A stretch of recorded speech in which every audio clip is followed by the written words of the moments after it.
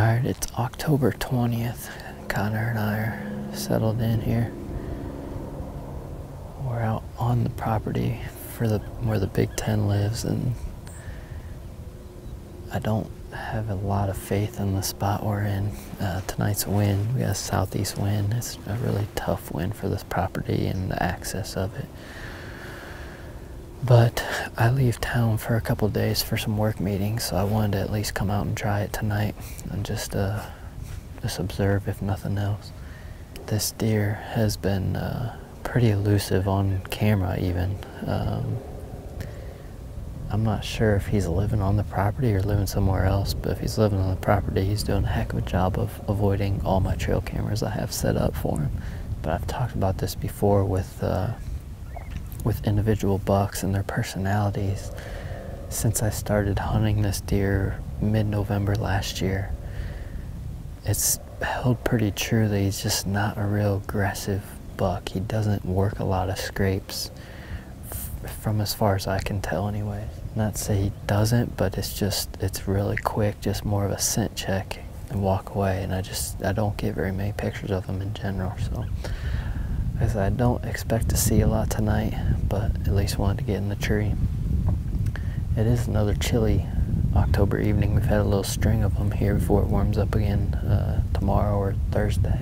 So you never know. He might might surprise us. Maybe he's living out here somewhere. I'm not sure, but uh, we'll see what happens tonight. Hopefully, we can at least see some deer moving through.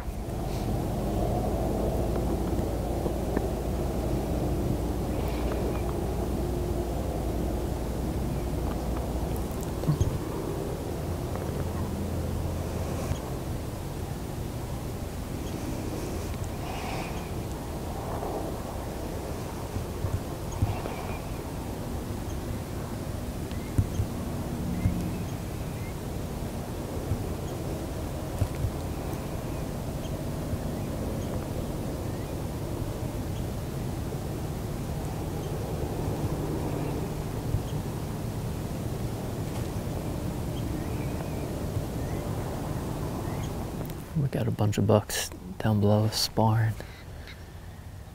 We got probably 30, 40 minutes left. But while we're waiting on something else to come out, I figure I'd share that I was fortunate enough to go out with Grant on Sunday. And we went to my farm and Grant was able to put down a six and a half year old deer we called Bob.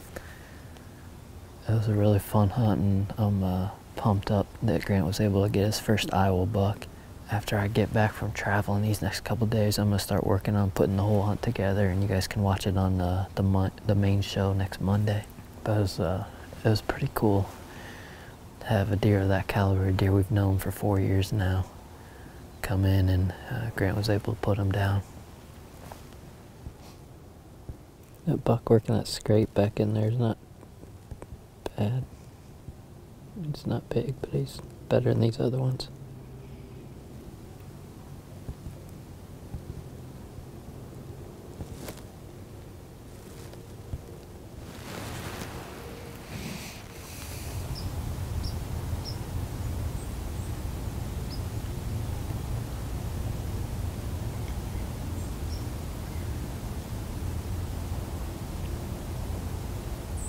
Uh, we're about to pack up, and uh, like I mentioned, I didn't have high expectations. Pretty slow night, just a few small bucks, but they at least they were all fired up.